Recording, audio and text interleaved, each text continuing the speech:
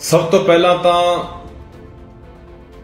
ਉਹਨਾਂ 84684 ਜਾਗਦੇ ਸਿਰਾਂ ਨੂੰ ਸਲਾਮ ਆ, ਜਿਨ੍ਹਾਂ ਨੇ ਪੰਜਾਬ ਦੇ ਮੁੱਦਿਆਂ ਨੂੰ ਸਮਝ ਕੇ ਮੇਰਾ ਸਾਥ ਦਿੱਤਾ। ਤੁਹਾਡਾ ਬਹੁਤ ਬਹੁਤ ਧੰਨਵਾਦ ਆ ਕਿ ਤੁਸੀਂ ਬਹੁਤ ਤਕੜੀ ਲੜਾਈ ਲੜੀ ਆ। ਕਿਸੇ ਪ੍ਰਕਾਰ ਦਾ ਕਈ ਸੱਜਣਾ ਦੇ ਫੋਨ ਆਈ ਜਾਂਦੇ ਨੇ ਕਿ ਬਈ ਆ ਕੀ ਹੋ ਗਿਆ, ਉਹ ਕੀ ਹੋ ਗਿਆ, ਕੋਈ ਗੱਲ ਨਹੀਂ। ਜ਼ਿੰਦਗੀ ਦਾ ਹਿੱਸਾ ਨੇ ਜਿੰਦ- ਜਿੱਤਾਂ ਦੇ ਹਾਰਾਂ। ਚੱਲਦਾ ਰਹਿੰਦਾ। ਕੋਈ ਗੱਲ ਨਹੀਂ ਚੜਦੇ ਕਲਾ ਰਹੋ। ਆਪਾਂ, ਉਹ ਕਹਿੰਦੇ ਆ, ਨਾ ਤਾਂ ਅਸੀਂ ਜਿੱਤਾਂ ਦੇ ਬਹੁਤੇ ਜਸ਼ਨ ਮਨਾਉਨੇ ਆ ਤੇ ਨਾ ਹਾਰਾਂ ਦੇ ਮਾਤਮ। ਜੰਗ ਜੁੱਧ ਚੱਲਦੇ ਰਹਿੰਦੇ ਆ। ਜੰਗਾਂ ਜੁੱਧਾਂ ਦੇ ਵਿੱਚ ਹਾਰਾਂ ਜਿੱਤਾਂ ਹੁੰਦੀਆਂ ਰਹਿੰਦੀਆਂ ਨੇ। ਹਾਂਜੀ। ਵਾਹਿਗੁਰੂ ਜੀ ਖਾਲਸਾ, ਵਾਹਿਗੁਰੂ ਜੀ ਕੀ ਫਤਿਹ। ਸਭ ਤੋਂ ਪਹਿਲਾਂ ਤਾਂ ਉਹਨਾਂ 84684 ਜਾਗਦੇ ਸਿਰਾਂ ਨੂੰ ਸਲਾਮ ਆ। ਜਿਨ੍ਹਾਂ ਨੇ ਪੰਜਾਬ ਦੇ ਮੁੱਦਿਆਂ ਨੂੰ ਸਮਝ ਕੇ ਮੇਰਾ ਸਾਥ ਦਿੱਤਾ। ਤੁਹਾਡਾ ਬਹੁਤ ਬਹੁਤ ਧੰਨਵਾਦ ਆ ਕਿ ਤੁਸੀਂ ਬਹੁਤ ਤਕੜੀ ਲੜਾਈ ਲੜੀ ਆ। ਇੱਕ ਪਾਸੇ ਪੈਸੇ ਦਾ ਜ਼ੋਰ, ਤੰਤਰ ਦਾ ਜ਼ੋਰ, ਸਰਕਾਰ ਦਾ ਜ਼ੋਰ, ਮੀਡੀਆ ਦਾ ਜ਼ੋਰ ਬੜਾ ਜ਼ੋਰ ਲੱਗਿਆ, ਪਰ ਫਿਰ ਵੀ ਤੁਸੀਂ ਬਹੁਤ ਤਕੜੇ ਰਹੇ ਕਿ ਤੁਸੀਂ ਇਹ ਲੜਾਈ ਜਿਹੜੀ ਲੜੀ ਆ। ਤੁਹਾਡਾ ਬਹੁਤ ਤਹਿ ਦਿਲੋਂ ਧੰਨਵਾਦ ਆ। ਕਿਸੇ ਪ੍ਰਕਾਰ ਦਾ ਕਈ ਸੱਜਣਾ ਦੇ ਫੋਨ ਆਈ ਜਾਂਦੇ ਨੇ ਕਿ ਬਈ ਆ ਕੀ ਹੋ ਗਿਆ, ਉਹ ਕੀ ਹੋ ਗਿਆ, ਕੋਈ ਗੱਲ ਨਹੀਂ। ਜ਼ਿੰਦਗੀ ਦਾ ਹਿੱਸਾ ਨੇ ਜਿੱਤਾਂ ਦੇ ਹਾਰਾਂ। ਚੱਲਦਾ ਰਹਿੰਦਾ। ਆਪਾਂ ਪੰਜਾਬ ਦੇ ਮੁੱਦਿਆਂ ਨੂੰ ਲੈ ਕੇ ਇਹ ਜੰਗ ਲੜੀ ਆ। ਜਿਹੜੇ ਮੁੱਦੇ ਆਪਾਂ ਪੰਜਾਬ ਦੇ ਵਿੱਚ ਉਠਾਉਂਦੇ ਆ ਰਹੇ ਆ, ਆਪਣੀ ਸੋਚ ਸੀਗੀ ਵੀ ਇਹ ਮੁੱਦੇ ਦੇਸ਼ ਦੀ ਪਾਰਲੀਮੈਂਟ ਜਾ ਕੇ ਉੱਠਣੇ ਚਾਹੀਦੇ ਨੇ। ਚਾਹੇ ਉਹ ਸਾਡੇ ਪਾਣੀਆਂ ਦਾ ਮੁੱਦਾ ਹੈ, ਚਾਹੇ ਸਾਡੀ ਰਾਜਧਾਨੀ ਦਾ ਮੁੱਦਾ ਹੈ, ਚਾਹੇ ਸਾਡੇ ਡੈਮਾਂ ਦੇ ਮੁੱਦੇ ਨੇ, ਚਾਹੇ ਮਾਂ ਬੋਲੀ ਦਾ ਮੁੱਦਾ ਹੈ, ਚਾਹੇ ਨਸ਼ਿਆਂ ਦੇ ਮੁੱਦੇ ਨੇ, ਚਾਹੇ ਉਹ ਸਾਡੀ ਕਿਸਾਨੀ ਦਾ ਮੁੱਦਾ ਚਾਹੇ ਸਾਡੇ ਮਜ਼ਦੂਰਾਂ ਦੇ ਮੁੱਦੇ ਨੇ, ਜਿਹੜੇ ਮੁੱਦਿਆਂ ਨੂੰ ਲੈ ਕੇ ਆਪਾਂ ਇਹ ਚੋਣ ਲੜੀ ਹੈ ਤੇ ਆਪਾਂ ਪਿੰਡੋ ਪਿੰਡੀ ਜਾ ਕੇ ਇਹ ਪ੍ਰਚਾਰ ਵੀ ਕੀਤਾ ਕਿ ਸਾਡੀ ਬੋਲੀ, ਇਤਿਹਾਸ, ਪਾਣੀ, ਜਵਾਨੀ, ਕਿਸਾਨੀ, ਮਜ਼ਦੂਰ, ਸਾਰਾ ਕੁਝ ਹੀ ਪੰਜਾਬ ਦਾ ਦਾਅ ਤੇ ਲੱਗਿਆ ਵਾ। ਆਪਾਂ ਉਹਨਾਂ ਗੱਲਾਂ ਨੂੰ ਲੈ ਕੇ ਲੋਕਾਂ ਦੇ ਵਿੱਚ ਗਏ ਸੀ। ਸੋ ਮੈਂ ਸਲਾਮ ਕਰਦਾ ਉਹਨਾਂ 84000 ਲੋਕਾਂ ਨੂੰ, ਜਿਨ੍ਹਾਂ ਨੇ ਇਹ ਫਤਵਾ ਦਿੱਤਾ, ਉਹਨਾਂ ਨੇ ਮੇਰੀ ਗੱਲ ਨੂੰ ਸਮਝਿਆ ਕਿ ਅਸਲ ਜਿਹੜੇ ਪੰਜਾਬ ਦੇ ਮੁੱਦੇ ਨੇ, ਉਹਨਾਂ ਮੁੱਦਿਆਂ ਦੇ ਉੱਤੇ ਜਿਹੜੀ ਗੱਲਬਾਤ ਹੋਣੀ ਚਾਹੀਦੀ ਆ। ਸੋ ਬਹੁਤ ਧੰਨਵਾਦ ਇਸ ਗੱਲੋਂ ਤੁਹਾਡਾ। ਇਸ ਤੋਂ ਇਲਾਵਾ ਮੈਂ ਧੰਨਵਾਦ ਕਰਦਾ ਖੰਡੂਰ ਸਾਹਿਬ ਦੇ ਲੋਕਾਂ ਦਾ, ਫਰੀਦਕੋਟ ਦੇ ਲੋਕਾਂ ਦਾ ਕਿ ਉਹਨਾਂ ਲੋਕਾਂ ਨੇ ਇਸ ਸਰਕਾਰ ਨੂੰ ਸ਼ੀਸ਼ਾ ਦਿਖਾਇਆ। ਜਿਹੜੀ ਸਰਕਾਰ, ਸਿੱਖ ਵਿਰੋਧੀ ਸਰਕਾਰ ਸੀ, ਜਿਨ੍ਹਾਂ ਨੇ ਐਨਐਸਏ ਲਾਉਣ ਤੋਂ ਇਲਾਵਾ, ਡਿਬਰੂਗੜ੍ਹ ਸਾਡੀ ਨੌਜਵਾਨੀ ਭੇਜਣ ਤੋਂ ਇਲਾਵਾ, ਜੋ ਪੰਜਾਬ ਨੂੰ ਇੱਕ ਦਹਿਸ਼ਤ ਜਦਾ ਕੀਤਾ ਖੌਫਜਦਾ ਕੀਤਾ, ਡਰ ਦਾ ਮਾਹੌਲ ਬਣਾਇਆ ਪੰਜਾਬ ਦੇ ਲੋਕਾਂ ਦੇ ਇੱਥੇ, ਕਰਫਿਊ ਲਾ ਕੇ ਘਰੋ ਘਰੀ ਤਲਾਸ਼ੀਆਂ ਹੋਈਆਂ, ਨੌਜਵਾਨ ਚੱਕੇ ਗਏ। ਇਹ ਬਹੁਤ ਵੱਡੀ ਚਪੇੜ ਹੈ ਇਹ ਸਰਕਾਰ ਦੇ ਮੂੰਹ ਤੇ ਕਿ ਤੁਸੀਂ ਦੋ ਸ਼ੀਟਾਂ ਬਿਲਕੁਲ ਐ ਕਲੀਅਰ ਕਰਕੇ ਲੋਕਾਂ ਨੂੰ ਦੱਸਤਾ, ਸਰਕਾਰ ਨੂੰ ਦੱਸਤਾ, ਦਿੱਲੀ ਤੱਕ ਦੱਸਤਾ ਕਿ ਇਹ ਜਿਹੜੇ ਲੋਕ ਨੇ, ਇਹ ਕਦੇ ਵੀ, ਜਦੋਂ ਜਦੋਂ ਵੀ ਸਿੱਖਾਂ ਦੇ ਉੱਤੇ ਜ਼ੁਲਮ ਹੋਇਆ, ਚਾਹੇ ਕਿਸੇ ਵੀ ਰੂਪ ਦੇ ਵਿੱਚ ਸਿੱਖਾਂ ਨੇ ਉਹਦਾ ਜਵਾਬ ਦਿੱਤਾ, ਹਰ ਹਾਲ ਸਿੱਖ ਜਵਾਬ ਦਿੰਦਾ, ਦਿੰਦੇ ਆਏ ਨੇ, ਚਾਹੇ ਪਹਿਲਾਂ ਅਬਦਾਲੀਆਂ ਵੇਲੇ ਹੁੰਦਾ ਹੋਵੇ ਮੁਗਲਾਂ ਵੇਲੇ ਹੁੰਦਾ ਹੋਵੇ, ਅੰਗਰੇਜ਼ਾਂ ਵੇਲੇ ਹੁੰਦਾ ਹੋਵੇ, ਚਾਹੇ ਬੈਂਸ ਸਿੰਘ ਵਾਲੇ ਵੇਲੇ ਹੁੰਦਾ ਹੋਇਆ ਹੋਵੇ, ਚਾਹੇ ਹੁਣ ਇਸ ਭਗਵੰਤ ਸਿੰਘ ਬਾਰੇ ਹੋਇਆ ਹੋਵੇ, ਲੋਕਾਂ ਨੇ ਜਵਾਬ ਦਿੱਤਾ ਕੱਲੇ ਇਹਨਾਂ ਦੋ ਹਲਕਿਆਂ ਤੋਂ ਇਲਾਵਾ ਬਾਕੀ ਜਿਹੜੇ 92 ਜਿੱਤੇ ਸੀਗੇ 92 ਤੋਂ ਸਿਮਟ ਕੇ 13 ਤੇ ਆ ਗਏ ਆ। ਬੜੇ ਤੰਜ ਕਰਦਾ ਸੀਗਾ ਇਹ ਬੜੀਆਂ ਚੁਟਕਲੇ ਕਹਾਣੀਆਂ ਕਿ ਇਹ ਸਕੂਟਰ ਤੇ ਜਾਇਆ ਕਰਨਗੇ, ਹੁਣ ਤੇਰੇ ਕੋਲ ਵੀ ਤਿੰਨੇ ਰਹਿ ਗਏ। ਤੁਸੀਂ ਵੀ ਸਕੂਟਰ ਤੇ ਵਗ ਜਾ ਕਰੋਗੇ ਕਿਤੇ ਉਹ ਤਿੰਨਾਂ ਚ ਵੀ ਪਤਾ ਨਹੀਂ ਕਿਹੜਾ ਕਿੱਧਰ ਨੂੰ ਭੱਜੇ। ਸੋ ਇਹ ਇਹ ਮੈਂ ਉਹਨਾਂ ਲੋਕਾਂ ਦਾ ਬਹੁਤ ਧੰਨਵਾਦ ਕਰਦਾ ਕਿ ਜਿਨ੍ਹਾਂ ਨੇ 2 ਸਾਲਾਂ ਦੇ ਵਿੱਚ ਇਹ ਸਰਕਾਰ ਨੂੰ ਜੋ ਇਹ ਸਰਕਾਰ ਨੇ ਵਾਅਦੇ ਕੀਤੇ, ਉਹ ਇੱਕ ਵੀ ਵਾਅਦੇ ਦੇ ਉੱਤੇ ਪੂਰੇ ਨਹੀਂ ਉਤਰੇ। ਉਹਨਾਂ ਲੋਕਾਂ ਦਾ, ਪੰਜਾਬ ਦਿਆਂ ਦਾ ਬਹੁਤ ਧੰਨਵਾਦ। ਹਾਂ, ਦੁੱਖ ਹੋਇਆ ਗੱਲ ਦਾ। ਕਿਹੜੀ ਗੱਲ ਦਾ ਹੋਇਆ? ਉਹ ਇਸ ਗੱਲ ਦਾ ਹੋਇਆ ਕਿ 84 ਦੇ ਦਿਨ ਚੱਲਦੇ ਹੋਣ। ਜੂਨ 84 1984 ਦੀ ਗੱਲ ਮੈਂ ਕਰਦਾ। ਉਹ 84 ਦੇ ਵਿੱਚ ਸਾਡਾ ਕਿੱਡਾ ਵੱਡਾ ਘਾਣ ਹੋਇਆ ਹੋਵੇ ਤੇ ਉਸ 4 ਤਰੀਕ ਨੂੰ ਅੱਜ ਨਤੀਜੇ ਆਏ ਹੋਣ ਤੇ ਫਤਵਾ ਗਿਆ ਹੋਵੇ ਉਸ ਧਿਰ ਦੇ ਹੱਕ ਦੇ ਵਿੱਚ ਜਿਹੜੀ 1 ਤੋਂ ਲੈ ਕੇ 6 ਜੂਨ ਤੱਕ ਇਹ ਸਾਰੇ ਕਾਰੇ, ਇਹ ਕਾਂਡ, ਇਹ ਸਭ ਜੋ ਕੁਝ ਘਾਣ ਹੋਇਆ ਉਹਦੀ ਜ਼ਿੰਮੇਵਾਰ ਉਹ ਧਿਰ ਸੀ। ਇਹ ਦੁੱਖ ਹੋਇਆ। ਦੁੱਖ ਹੋਇਆ ਜੋ ਬੇਅਦਬੀਆਂ ਦੇ ਦੋਸ਼ੀ ਸੀ, ਜੋ ਬਾਈਬਲ ਕਲਾਂ ਗੋਲੀ ਕਾਂਡ ਦੇ ਦੋਸ਼ੀ ਸੀ, ਜੋ ਪੰਜਾਬ ਦੇ ਹੱਕ ਵੇਚਣ ਦੇ ਦੋਸ਼ੀ ਨੇ, ਉਹਨਾਂ ਦੇ ਹੱਕ 'ਚ ਫਤਵਾ ਗਿਆ। ਇਸ ਗੱਲ ਦਾ ਦੁੱਖ ਹੋਇਆ। ਬਾਕੀ ਕੋਈ ਗੱਲ ਨਹੀਂ ਚੜਦੇ ਕਲਾ ਰਹੋ। ਆਪਾਂ, ਉਹ ਕਹਿੰਦੇ ਆ, ਨਾ ਤਾਂ ਅਸੀਂ ਜਿੱਤਾਂ ਦੇ ਬਹੁਤੇ ਜਸ਼ਨ ਮਨਾਉਨੇ ਆ। ਤੇ ਨਾ ਹਾਰਾਂ ਦੇ ਮਾਤਮ। ਜੰਗ ਜੁੱਧ ਚੱਲਦੇ ਰਹਿੰਦੇ ਆ। ਜੰਗਾਂ ਜੁੱਧਾਂ ਦੇ ਵਿੱਚ ਹਾਰਾਂ ਜਿੱਤਾਂ ਹੁੰਦੀਆਂ ਰਹਿੰਦੀਆਂ ਨੇ। ਪਰ ਇਨਸਾਨ ਹੋਵੇ, ਚਾਹੇ ਕੌਮ ਹੋਵੇ, ਉਹ ਹਾਰ ਜਾਂਦੇ ਨੇ, ਜਿਹੜੇ ਜੰਗ ਤੋਂ ਬਾਅਦ ਘੋੜਿਆਂ ਦੀਆਂ ਕਾਠੀਆਂ ਤੋਂ ਉਤਰ ਜਾਂਦੇ ਨੇ। ਆਪਣੀਆਂ ਘੋੜਿਆਂ ਦੀਆਂ ਕਾਠੀਆਂ ਤਿਆਰ ਨੇ, ਕਸੀਆਂ ਨੇ। ਆਪਾਂ ਜੰਗ ਲਈ ਤਿਆਰ ਨਾ ਪਹਿਲਾਂ ਪਿੱਛੇ ਹਟੇ ਸੀ ਤੇ ਨਾ ਹੁਣ ਪਿੱਛੇ ਹਟਣਾ। ਇਸ ਪੰਜਾਬ ਲਈ ਮੈਂ ਤੁਹਾਨੂੰ ਪਹਿਲਾਂ ਹੀ ਕਹਿ ਚੁੱਕਿਆ ਕਿ ਜਿੱਦੇ ਲੋੜ ਪੈਗੀ ਨਾ, ਖੂਨ ਦਾ ਕਤਰਾ ਕਤਰਾ ਵੀ ਵਹਾ ਦਾਂਗੇ ਚੱਕ ਪੰਜਾਬ ਸਿਆ ਤੇਰੇ ਲਿਖਿਆ ਇਹਦਾ ਗੱਲ ਚੀਜ਼ ਹੀ ਕੁਝ ਨਹੀਂ।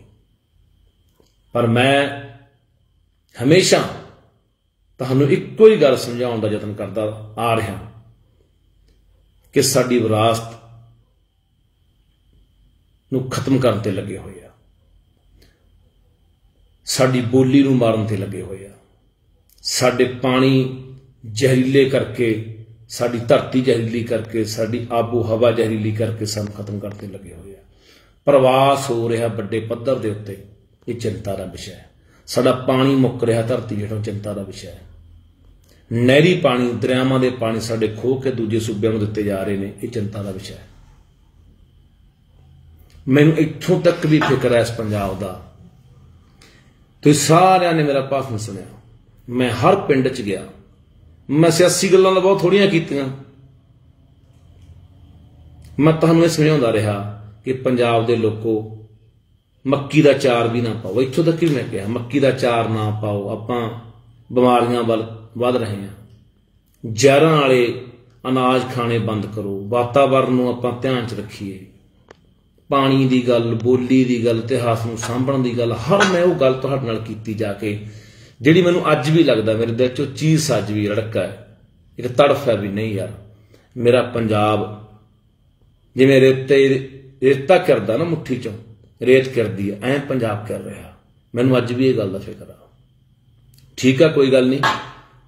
ਆਪਾਂ ਖੜੇ ਆ, ਆਪਾਂ ਤਿਆਰ ਆ। ਹਰ ਪੱਖ ਤੋਂ ਤਿਆਰ ਆ, ਕੋਈ ਗੱਲ ਨਹੀਂ। ਧੰਨਵਾਦ ਆ ਤੁਹਾਡਾ ਸਾਰਿਆਂ ਦਾ ਕਿ ਤੁਸੀਂ ਬਹੁਤ ਜ਼ੋਰ ਲਾਇਆ।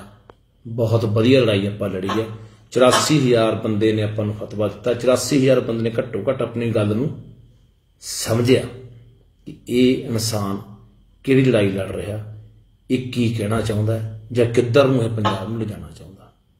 ਕੋਈ ਗੱਲ ਨਹੀਂ, ਆਪਾਂ ਫਿਰ ਤਿਆਰ ਆ।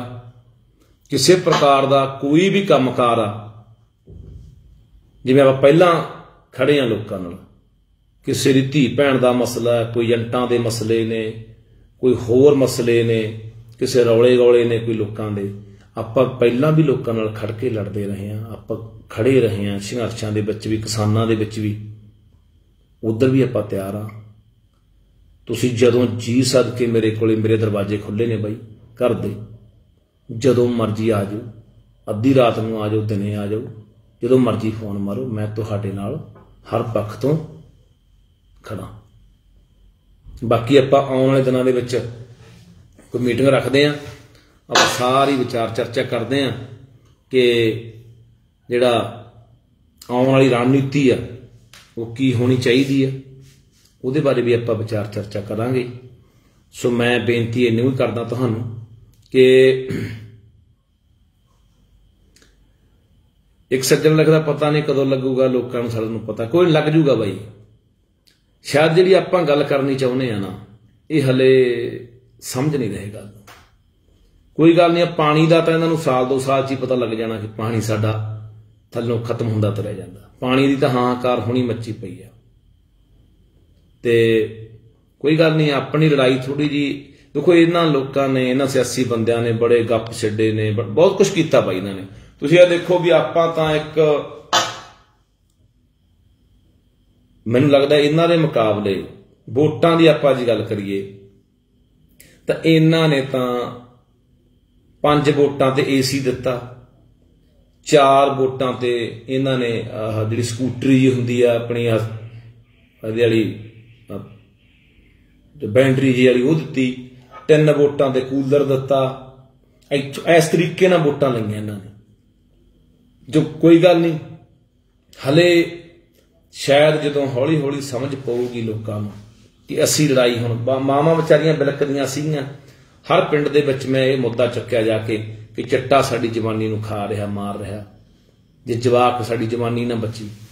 ਕੋਈ ਗੱਲ ਨਹੀਂ, ਮੈਂ ਉਹ ਗੱਲਾਂ ਦਾ ਵੀ ਹੌਲੀ ਹੌਲੀ ਇਹਨਾਂ ਲੋਕਾਂ ਨੂੰ ਸਮਝ ਆ ਜੂਗੀ। ਹਲੇ ਸ਼ਾਇਦ ਉਹ ਚੀਜ਼ ਚੋਂ ਨਿਕਲੇ ਨਹੀਂ ਆ।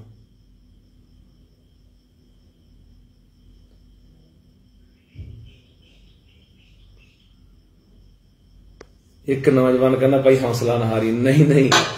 ਹੌਸਲੇ ਤਾਂ ਯਾਰ ਆਪਾਂ ਜ਼ਿੰਦਗੀ ਨੇ ਬੜੇ ਉਤਰਾ ਚੜਾ ਦੇਖੇ ਹੌਸਲਾ ਤਾਂ ਇੱਕ ਇੱਕ ਦਿਨ ਉਹ ਵੀ ਸੀਗਾ ਜਦੋਂ ਮੈਂ ਗੋਲੀਆਂ ਲੱਗੀਆਂ ਹਸਪਤਾਲ 'ਚ ਪਿਆ ਸੀਗਾ। ਲੋਕ ਕਹਿੰਦੇ ਸੀ ਇਹ ਤਾਂ ਉੱਠ ਹੀ ਨਹੀਂ ਸਕਦਾ, ਤੁਰ ਹੀ ਨਹੀਂ ਸਕਦਾ। ਮੈਂ ਤਾਂ ਉੱਠ ਉੱਠ ਕੇ ਆ ਗਿਆ ਸੀ। ਮੈਂ ਤਾਂ ਫੇਰ ਵੀ ਆ ਕੇ ਲੜਿਆ, ਹੌਸਲਾ ਨਹੀਂ ਹਾਰਦਾ।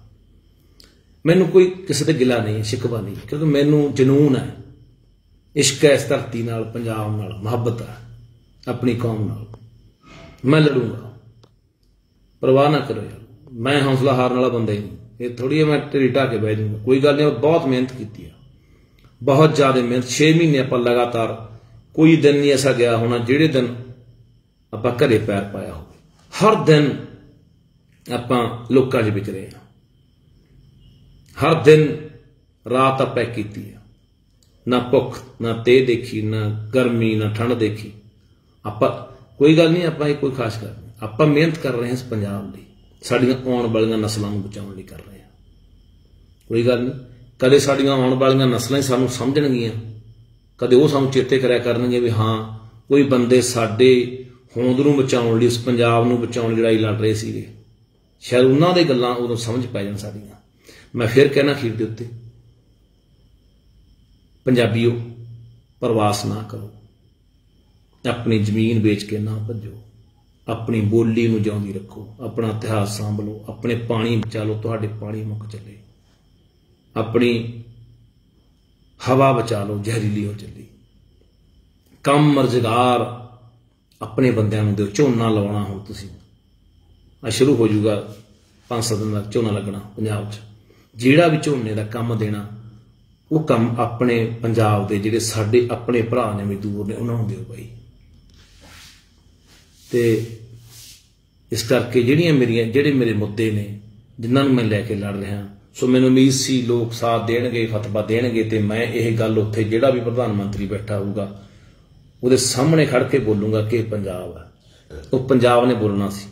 ਲੱਖਾਂ ਨਹੀਂ ਸੀ ਬੋਲਣਾ, ਉਹ ਪੰਜਾਬ ਦੇ ਦਰਦ ਨੇ ਬੋਲਣਾ ਸੀ, ਪੰਜਾਬ ਦੀ ਹੂਕ ਨੇ ਬੋਲਣਾ ਸੀ। ਉਹ ਸਾਡੇ ਲੋਕਾਂ ਦੀ, ਪੰਜਾਬੀਆਂ ਦੀ ਆਵਾਜ਼ ਨੇ ਉੱਥੇ ਬੋਲਣਾ ਸੀ। ਚਲੋ ਕੋਈ ਗੱਲ ਨਹੀਂ, ਸ਼ਾਇਦ ਪ੍ਰਮਾਤਮਾ ਨੂੰ ਕੀ ਮਨਜ਼ੂਰ ਹੈ, ਪ੍ਰਮਾਤਮਾ ਸਾਡੇ ਨਾਲੋਂ ਬਿਹਤਰ ਜਾਣਦਾ ਇਹ ਭਵਿੱਖ ਦੇ ਗਰਭ ਚ ਪਈਆਂ ਨੇ ਗੱਲਾਂ। ਸੋ ਆਉਣ ਵਾਲੇ ਦਿਨਾਂ 'ਚ ਆਪਾਂ ਮੀਟਿੰਗਾਂ ਕਰਕੇ ਸਾਰਿਆਂ ਪਿੰਡਾਂ ਦੇ ਵਿੱਚ ਆਪਾਂ ਬੈਠ ਕੇ ਸਾਰਿਆਂ ਨਾਲ ਗੱਲਬਾਤ ਕਰਕੇ ਆਪਾਂ ਉਹਨਾਂ ਨੂੰ ਮਿਲ ਕੇ ਕਮੇਟੀਆਂ ਬਣਾ ਕੇ, ਢਾਂਚਾ ਬਣਾ ਕੇ ਅਗਲੀ ਰਣਨੀਤੀ ਆਪਾਂ ਤਿਆਰ ਕਰਾਂਗੇ ਸੋ ਸਾਰਿਆਂ ਨੇ ਤਕੜੇ ਰਹਿਣਾ, ਹੌਸਲਾ ਨਹੀਂ ਛੱਡਣਾ। ਕੋਈ ਕਿਸੇ ਪ੍ਰਕਾਰ ਦੀ ਪਰੇਸ਼ਾਨੀ ਆਵੇ, ਕੋਈ ਤੰਗ ਕਰਦਾ, ਕੋਈ ਹੋਰ ਮਸਲਾ ਕੋਈ ਵਿਗੜਦਾ, ਤਾਂ ਤੁਸੀਂ ਮੈਨੂੰ ਚੇਤੇ ਕਰਿਓ। ਮੈਨੂੰ ਯਾਦ ਕਰ ਲਓ, ਮੈਂ ਤੁਹਾਡੇ ਨਾਲ ਤੁਹਾਡਾ ਭਰਾ ਹਮੇਸ਼ਾ ਖੜਾ ਰਹੂੰਗਾ। ਧੰਨਵਾਦ।